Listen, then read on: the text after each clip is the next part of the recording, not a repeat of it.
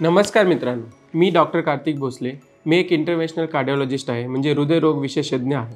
मी पुणे येथे प्रॅक्टिस करतो आणि तुम्ही बघत आहात माझा यूट्यूब चॅनल हृदयविकार आणि त्याचा प्रतिबंध यासंबंधी जागृती करण्यासाठी मी हा यूट्यूब चॅनल सुरुवात केली आहे.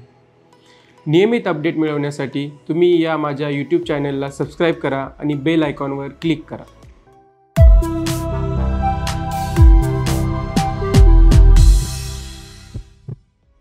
तुमचे हृदय कार्यक्षम किंवा निरोगी आहे का? तुम्हाला हृदयविकाराची जोखीम तर नाही? हृदयविकाराची जोखीम कशी ओळखाल? अशा सगळ्या प्रश्नांची उत्तरे या व्हिडिओतून शोधण्याचा आपण प्रयत्न करूयात.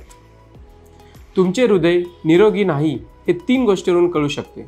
पहिलं म्हणजे तुम्हाला हृदयविकाराची लक्षणे असतील जसे की छातीत दुखणे श्वास घेण्यास त्रास होणे छाती धडधड होणे डोळ्यासमोर अचानक अंधारे येणे किंवा बेशुद्ध होणे हे असलं तर. दुसरं म्हणजे तुम्हाला हृदयविकार होण्याचे रिस्क फॅक्टर असतील तर.